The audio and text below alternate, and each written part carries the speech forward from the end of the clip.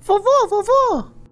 Fala, meu netinho, o que, que você quer? O que, que é esse tal de Bloodborne que eu encontrei nas suas coisas? Bloodborne, quanto tempo que eu não ouço falar disso? Já faz 50 anos, rapá. Nossa, esse jogo aí foi algo fenomenal na minha época. Só que desde 2015 a gente nunca mais ouviu falar dele. Infelizmente ficou esquecido aí pela história.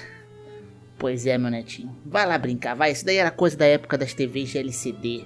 Isso nem existe mais. Agora me dá licença que eu vou ver aqui o meu semanal de One Piece. Esquece esse negócio de Bloodborne, nem se aprofunda que você só vai se machucar igual o vovô. Não, eu não quero Bloodborne 2 mais. Não, não me entendam errado. Não quer dizer que se a From Software e a Sony lançarem um Bloodborne 2 ou anunciarem um Bloodborne 2 ou um remaster, eu não vou ficar mega alegre. Eu ficaria alegre da mesma forma que alguém viesse e me desse um Peugeot 206 e eu usaria ele ali por dois meses até ele simplesmente explodir.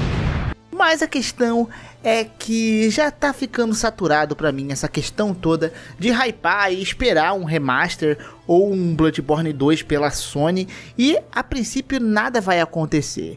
E eu comecei a pensar um pouco nisso e falar, cara, realmente eu já nem ligo mais tanto para um Bloodborne 2 e para mim existem tantas outras formas da gente aproveitar este jogo que não seja um Bloodborne. E como assim? Era aí que a gente já vai explicar isso aí. Bloodborne foi lançado em 2015 em parceria da From Software com a Sony, o próprio Miyazaki falou que ele conseguiu fazer tudo o que ele queria naquele jogo e é um jogo fenomenal. É terror cósmico, é alienígena, é mulher grávida de alienígena, lobisomem, tem vampiro. É um negócio fenomenal, velho. É incrível Bloodborne.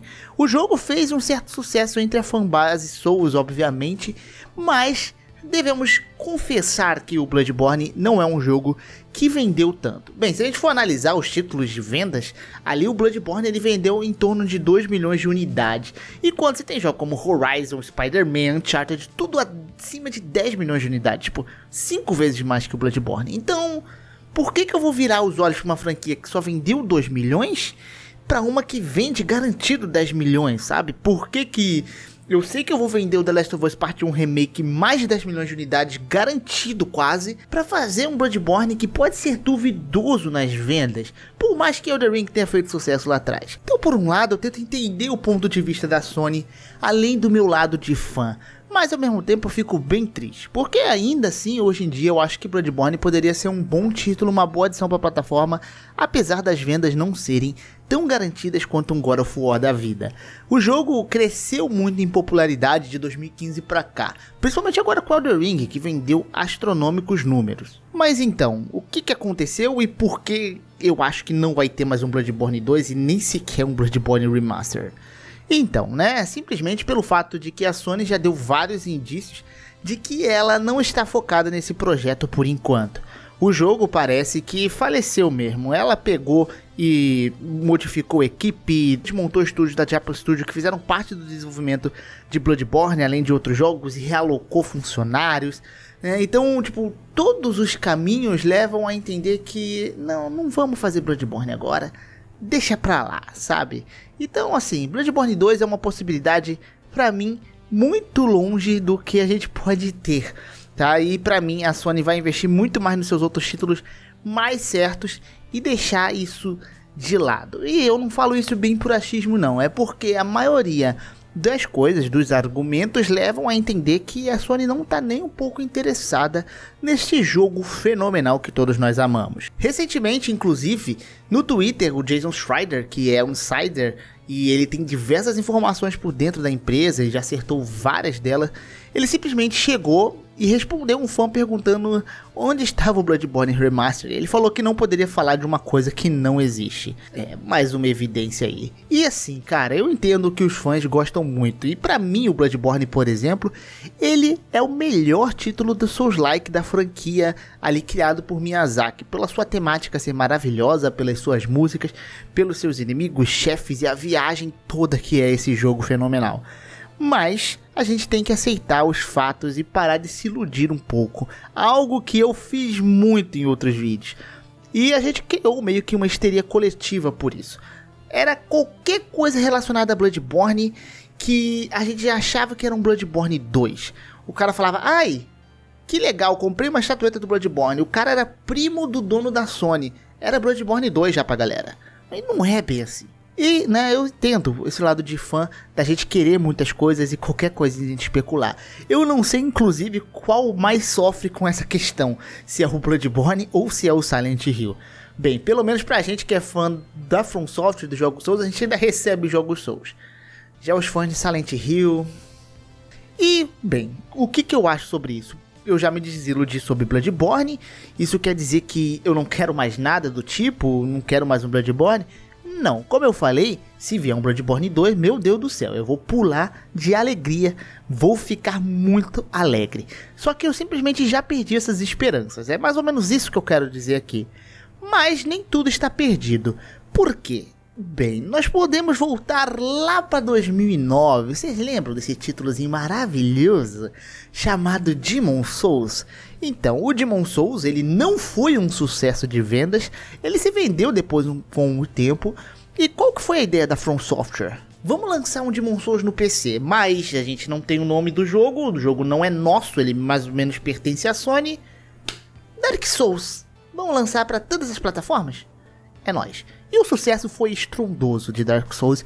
Eu acho que todo mundo sabe dessa história. Então, qual que seria a esperança para essa maravilha? Para mim, não acho que deveria mais ter um Bloodborne, e sim um novo sucessor espiritual, cara. Olha que maravilhoso que seria um jogo nesta temática de Bloodborne, um sucessor espiritual nato, era vitoriana, ET, vampiro, lobisomem, seja o que for que eles queiram colocar dark gótico com trick weapons e música linda e maravilhosa.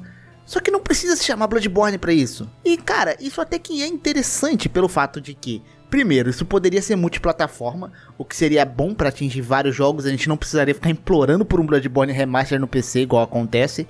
Tudo bem que eu acho que mesmo se saísse, ainda teria que sair um Bloodborne no PC pra galera do PC jogar o Bloodborne uma vez na vida. Mas a gente não teria que ficar implorando por isso e seria uma nova forma de ver um, entre aspas, Bloodborne 2, mas com outro nome. O que de fato nem precisa se chamar Bloodborne mesmo, porque o Bloodborne, ele fecha de uma forma interessante o jogo. Ele não te deixa muitas lacunas abertas em questão da história, e eu até já cheguei a especular que se tivesse um Bloodborne 2, para mim ele teria que ser um outro mito, uma outra história se passando por outra cidade, talvez algo uma praga parecida, mas em outra cidade, com outros acontecimentos, com outros seres.